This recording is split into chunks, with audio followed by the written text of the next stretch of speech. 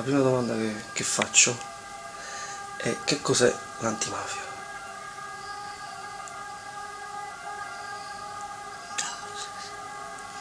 Cos'è l'antimafia? che cosa complicata, che cos'è l'antimafia? Spesso però abbiamo incontrato anche un'antimafia che non era antimafia. È molto, molto confusa la situazione, che spesso credi, credi che, che, che, che la gente che ti sta intorno, quella che fa cose, sia, sia contro la mafia, che voglia vivere una vita senza mafia, che voglia rischiare tutto per non avere rapporti con la mafia, per non avere vantaggi dalla mafia.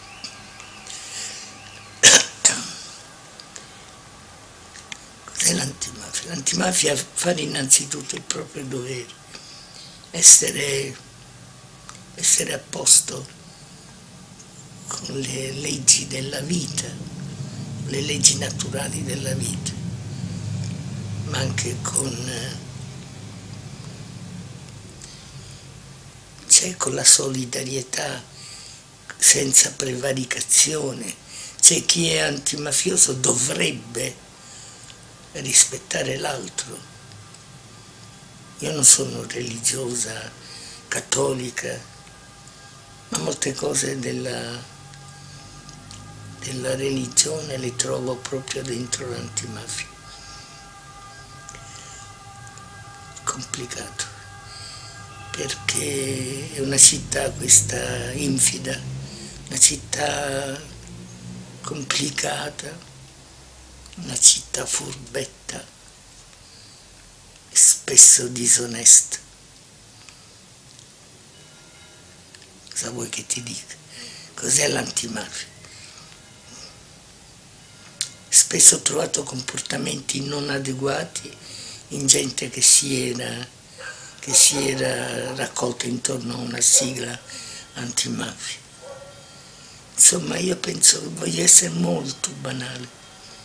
Io penso che antimafia significhi, significa amore, significa, lo ripeto, solidarietà. Tu negli anni Ottanta hai lavorato a stretto contatto, suppongo, anche con le forze di polizia, Uh, ci, ci, vuoi raccontare un po' come funzionava? Ma eh, ritornai a Palermo negli anni nel 74 con rancore verso la polizia perché caricava gli studenti eh, che manifestavano per una società più giusta. Ero stata a Milano per cui lì erano avvenute molte cose, anche un ragazzo era stato ammazzato dalla polizia, naturalmente per sbaglio diciamo. Per cui ero piena di, di dubbi e di antipatia per la polizia. Quando incominciai a fare la fotoreporter per il quotidiano L'Ora, eh, dovetti entrare in contatto con la polizia perché ogni volta avveniva qualcosa e mm, c'era la polizia. E devo dire che piano piano, specialmente perché ho incontrato delle persone stupende come Boris Giuliano, vice questore di Palermo, capo della squadra mobile, che ci aiutava, mm, che mm, aiutava noi giornalisti, noi fotografi a lavorare, ma era anche un bravo poliziotto che voleva veramente, veramente sconfiggere la mafia. Poi Boris Giuliano morì ammazzato, proprio perché era bravo, perché era... E mi ricordo che lui spesso nei momenti più caldi, pericolosi, in cui eh, i mafiosi, diciamo la gente eh, legata al morto ammazzato o all'arrestato, voleva impedirci di fare il nostro lavoro, il mio lavoro di fotografa, e lui ci salvava sempre. Ci furono, furono anni in cui la polizia fu veramente con il popolo, questo bisogna ricordarlo, anche se contemporaneamente c'era una parte della polizia ai vertici che lavorava contro noi, contro noi che non volevamo la mafia. Questo ora lo sappiamo che tanti furono collusi, così come furono collusi i giudici, professionisti, dentro le università ci furono pure, se non collusioni, ci furono sicuramente indifferenza nei confronti di quello che stava succedendo. Stavano succedendo cose terribili che oggi, no, oggi la gente non sa perché non ha visto, non ha visto corpi morti, non ha visto, mm, non ha visto il sangue, perché oggi la mafia c'è ancora, la gente paga il pizzo, sta zitta poi la mafia, la mafia, molti sono in prigione, quelli che sono rimasti sono, sono sempre pericolosi, ma più che altro sono pericolosi quelli collusi con eh, i politici. Abbiamo una classe politica indegna, non tutta, ma indegna. E spesso la lotta contro la mafia è fatta solo dai giudici e questo è terribile è molto triste. Alcuni giudici, da alcuni giudici, non da tutti. Prendo allora la palla al balzo giusto per eh, diciamo, capire qual è la tua posizione rispetto alla storia delle intercettazioni dove diciamo, in maniera indiretta è stato intercettato Napolitano e della campagna che sta facendo Repubblica a favore diciamo, del, di una legge sulle intercettazioni e soprattutto a favore del, della distruzione di queste intercettazioni che comunque sono importantissime. Come mai Repubblica fa una campagna del genere? E a Dio Pizzo pubblica sul sito questo, diciamo, questo, questo servizio di Repubblica prendendo, diciamo, come dire, schierandosi dal, dalla, dalla, parte di, di, queste, di queste istituzioni che in questo momento non si capisce da che parte stanno è complessa la cosa. Io penso che un capo dello Stato sia un cittadino come me e come te e che le intercettazioni che abbiamo, che abbiamo, che hanno trovato i giudici, debbano essere divulgate come qualsiasi altra intercettazione quando questo serve ad arrivare alla giustizia. Non lo so perché Repubblica si comporta così, ormai Ormai sono cadute molte illusioni. Repubblica era il mio giornale per tanti anni, non lo compro più. Mm. Addio Pizzo, non so cosa dirti, non so cosa dirti. Ed è, ed è, ed è ancora più pesante per me che, che ho 77 anni, cioè non potermi neanche più illudere che ci siano pezzi importanti della società che vogliono resistere per sostenere la verità, la verità. Quanto è importante la verità. E non sono d'accordo e purtroppo non ho mezzi, no, no, sono solo una fotografa. E però però il, tutto il mio appoggio per quei giudici, per quei pochi giudici che stanno lottando veramente, veramente. Sento l'atmosfera, certe volte c'è un'atmosfera a Palermo, certe volte, oggi certe volte, c'è un'atmosfera come ai tempi di Falcone, quando veniva insidiato da tutte le parti. E poi lui non ci fu più.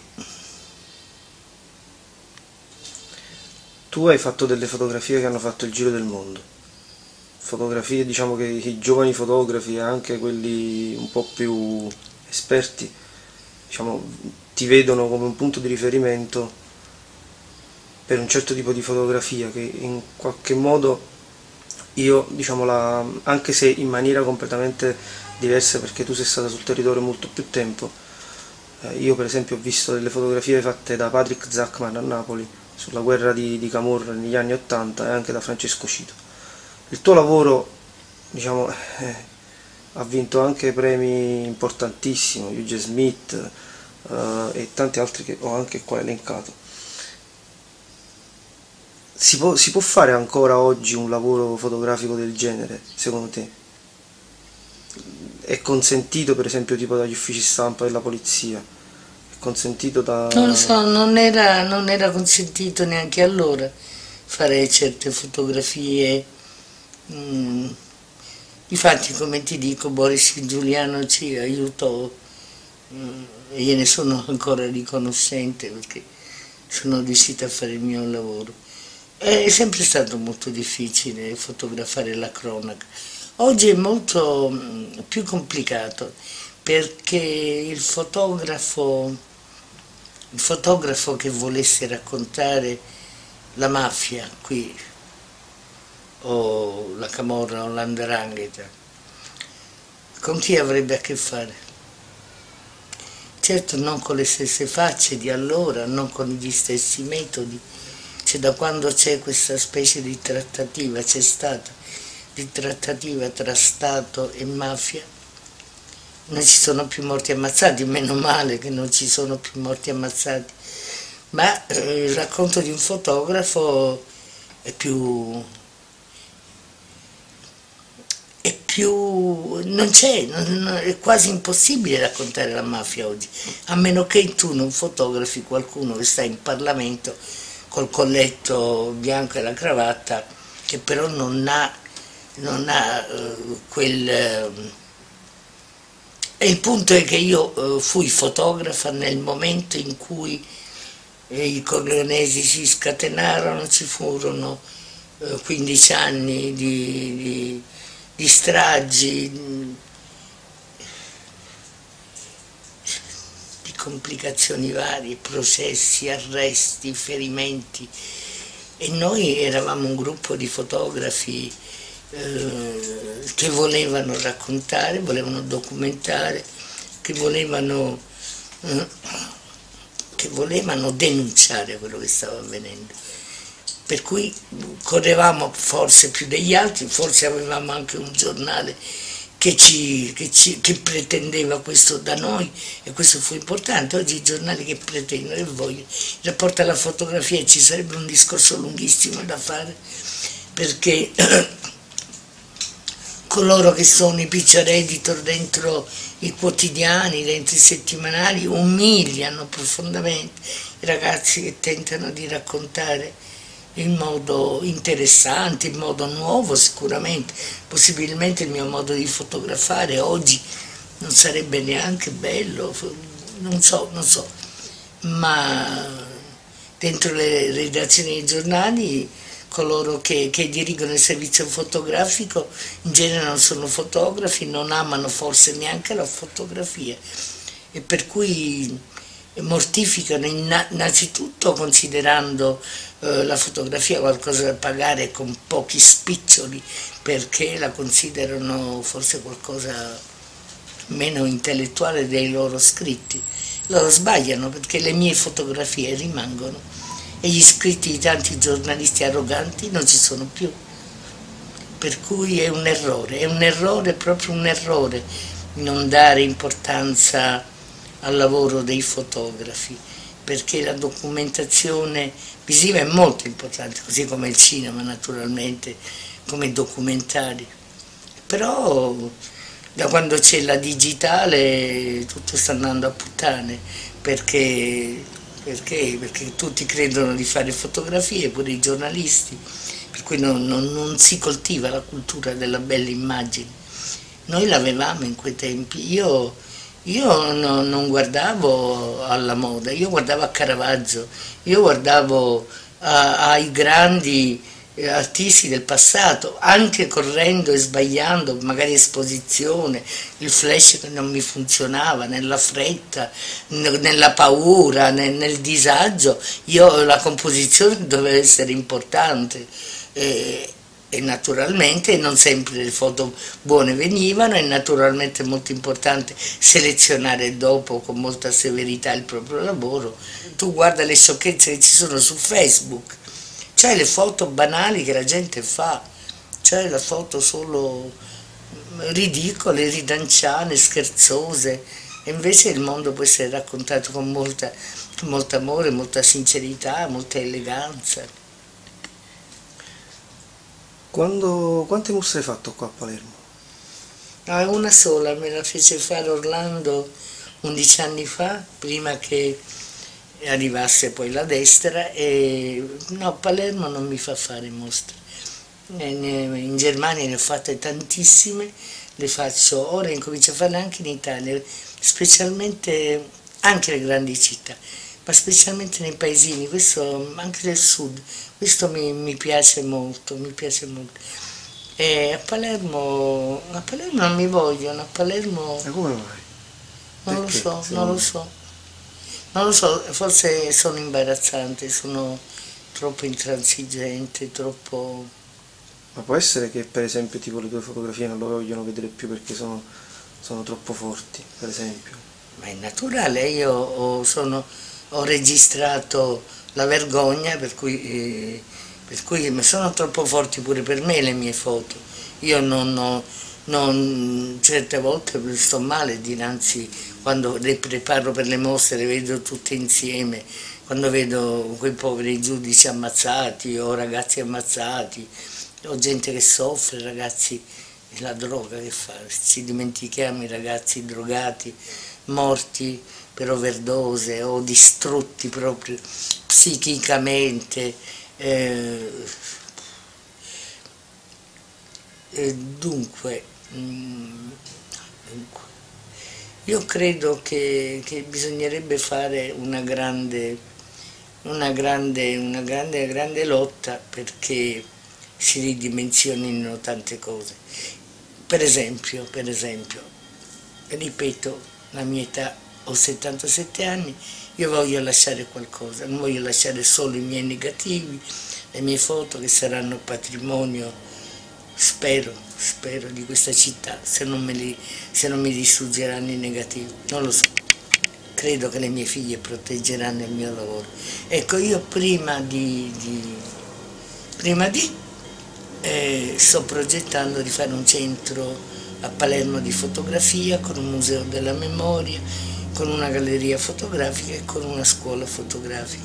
Io voglio che almeno nel mio campo ci sia, ci sia professionalità, disciplina, conoscenza. Conoscenza, un buon fotografo non può essere buono se non va nei musei, se non si guarda i libri eh, fotografici degli altri fotografi, se non capisce che cosa è, che cosa è la fotografia. Questo è più complicato, però bisogna lavorarci sopra e studiarci oggi, nel 2012, Sicuramente bisogna muoversi in un certo modo e io vorrei soltanto raggruppare la gente che ha tanto talento, che non ha spazio, che non ha possibilità di fare vedere le proprie foto, sia in pubblico che in privato, perché un fotografo deve mostrare le proprie fotografie agli altri fotografi e scambiarsi così, questa, la, ognuno così possa scambiarsi la cultura sua con quella dell'altro fotografo. Un centro di fotografia, sto aspettando che mi diano conferma che, di, un, di, uno spazio meraviglioso ai cantieri culturali della Zisa, molto grezzo, molto semplice, bisogna mettere le porte e pavimentare col cemento e basta. Ce la farai una camera oscura dentro? No, non ce la faccio la camera oscura perché la Camera Oscura mm, è un'altra cosa, molto affascinante. Io per anni, anni, anni, anni, anni, anni ho stampato in un bugigattolo buio, sempre al buio, con tanta passione e tanta gioia, ma oggi ci sono le digitali, non è più possibile stampare, io non riesco più a stampare mm, eh, perché non trovo la carta, non trovo i liquidi. Qui per esempio a Palermo, a Milano, Roma ci saranno, ma qui è difficile trovare, troppo difficoltoso stampare in camera oscura con la carta e l'ingranditore come si faceva tanti anni fa. No, no, si può, fare, si, si può usare un laboratorio.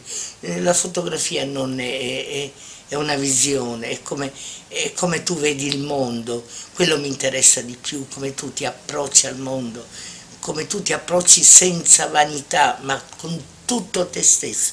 Fotografare significa mettere te, te il tuo cuore, la tua testa, il tuo sangue e unirlo con una parte del mondo. E lì dovrebbe succedere qualcosa, dovrebbe nascere uno stile, magari non nasce, però se sei sincero, se fotografi senza marchingegni intellettuali che poi lasciano il tempo che trovano, eh, la fotografia può essere una grande, grande cosa per esprimersi, così come non si dipinge quasi più con il pennello e si fanno altre cose, la fotografia può essere meravigliosa anche con la tecnica digitale io, alla quale io mi sono avvicinata da pochissimo, però la devo usare perché non c'è altro modo. Hotel Zagarella, Salvo e Andreotti. Dunque, eh, Giulio Andreotti era venuto a Palermo eh, per la campagna elettorale. Avevo fotografato la mattina eh, Giulio Andreotti con accanto eh, Ciancimino questa era già una gran foto perché si diceva che Ciancimino fosse uscito dalla DC. Ero soddisfatta, basta, ho fatto il mio lavoro e vado allo studio. Il giornale mi richiama e mi dice vai all'hotel Zagarella, vai all'hotel Zagarella che c'è lì una specie di, ricevimento e, e così fotografi ancora Andreotti e tutti quanti. Io vado all'hotel Zagarella, non mi piace andare all'hotel Zagarella perché ero stanca, perché dovevo andare fuori Palermo, vado all'hotel Zagarella, incontro questi qua, questi figuri, faccio qualche scatto, insomma manco cosa scatto, manco, manco scatto con piacere e, e me ne vado. Dopo, dopo anni bussano alla mia porta e mi vedo sei giovanottoni alti, grandi, forse pure belli. E dico prego, disse siamo della, forse della DIA, dice dobbiamo guardare dentro il suo archivio. Dico dentro il mio archivio? Sì, cercate qualcosa. Eh, con piacere, loro dicono piacere o non piacere, qua abbiamo una carta. Che... E insomma erano molto severi. Entrano nella stanza dove ho i negativi, mi chiedono fotografie della democrazia cristiana e dei socialisti io gli do la scheda e loro erano sono le 10 e mezza, 11 del mattino e io dovevo uscire, dico io devo uscire, dice no no no non può uscire, no no dico io esco, vi lascio qua e basta. Dopodiché alle 6 loro eh, se ne vanno, 6 del pomeriggio senza mangiare e io dico ma almeno posso sapere, vi sono stata utile? Loro mi guardano e mi dicono sì e se ne vanno. Io non so neanche che cosa hanno trovato, cosa hanno cercato, sapevo la democrazia cristiana. Dopo qualche mese mi telefona, qualche mese, Attilio Bolzoni della Repubblica e mi dice Letizia hai fatto uno scoop? Dico ma quale scoop? Non ho fatto nessuno scoop. Dice sì, hai fotografato Giulio Andreotti con il mafioso Salvo, che lui diceva di non avere conosciuto ed era poi allora sono andata mm, al tribunale dove era lì il mio negativo stampato. Ho visto la foto, era orribile, era mossa, sfocata. Una delle peggiori foto che io avessi mai fatto che io non avevo scelto perché il giornale non aveva pubblicato le foto. Allora quella era brutta, non l'avrei mai scelta una foto brutta. Però questa foto è stata la foto che ha dimostrato che, che Giulio Andreotti diceva bugie. Però siccome il fatto era avvenuto prima, tanti, troppi anni prima, tutto era caduto, come si dice, in prescrizione. In prescrizione. Per cui la mia foto è servita solo per i libri di storia dove si dice che lui non è stato condannato perché era, tutto era andato in prescrizione ma la mia foto, io brutta, la mia brutta foto mossa e sfocata dove c'è lui, Salvo Lima anche Mattarella, poverino, e il, il mafioso Salvo, è servita. Cioè io, Giulio Andreotti, se tu andavi alla vucceria e gli dicevi ma chi è Giulio Andreotti? Ti rispondevano è un mafioso. Per cui noi lo sapevamo che lui era responsabile, responsabile di tutta la carneficina che stava succedendo, responsabile indirettamente, perché lui appoggiava la democrazia cristiana che aveva di Palermo, la corrente andreottiana, che aveva rapporti con la mafia. Per cui Giulio Andreotti, Giulio Andreotti, il nostro primo ministro per sette volte, sono veramente E quindi i fotografi valgono meno di due di picche. No, non sento, perché non è la Ho foto. letto la tua intervista che dice ti chiedono così. Allora non è vero che valgono meno di due Ma non è assolutamente vero che valgono, certe che non valgono, certe volte non vogliono essere, eh, con- no, non sono considerati, certo, ma così come certe volte non viene considerato un giudice eh, come Ingroia che, sta, che, che ha fatto una lotta mm, forte non è stato considerato niente, se n'è andato, quello se n'è andato e ci ha lasciato purtroppo, perché io non lo so perché veramente se ne sia andato posso pensare che, che aveva saputo che lo volevano, vabbè insomma non ne parliamo, L'ultima domanda proprio. basta. Che ne pensi della legge sulla privacy? Quale privacy? Infatti, ma quale privacy? Non, non- non esiste la privacy eh, quando hai specialmente responsabilità. Se io sono una donna mm, libera che non ho nessuna, nessuna responsabilità sociale, posso fare quello che voglio. Certo, posso avere i miei amorazzi, posso fare questa è- e nessuno mi verrà a disturbare, ma se tu sei eh, un uomo politico o una donna politica, pure la donna, che gestisci, cosa hai il dovere di comportarti in un certo modo. E tra l'altro, se parliamo della privacy in rapporto a Berlusconi o a tutte le altre cose, schifezze che, eh, che sono avvenute e che avvengono continuamente, io me ne frego della privacy. Quale privacy? Cos'è la privacy? Alla luce del sole tutto.